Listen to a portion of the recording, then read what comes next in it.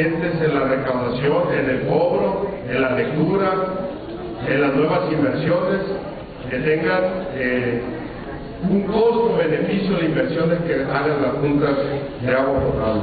Entonces, es difícil, en el caso propio de nuestro municipio se requieren alrededor de 2.600 millones de pesos para arreglar el drenaje, se requieren 500 millones de pesos para la inversión de un nuevo acueducto, si eso es en el caso de Mazatlán, una junta que opera en números negros, no quiero pensar lo que requieren y lo que necesitan los municipios que operan en números rojos. Entonces, qué bueno que se pone el tema en este Congreso, qué bueno que se sube a esta tribuna, porque sí tenemos que hacer algo con las juntas de agua potable en el estado de Sinaloa, buscar mecanismos ayudarles, pero también buscar mecanismos como podamos exigirles a las juntas municipales que operen y que operen bien y en números negros. Es cuanto, diputada presidenta.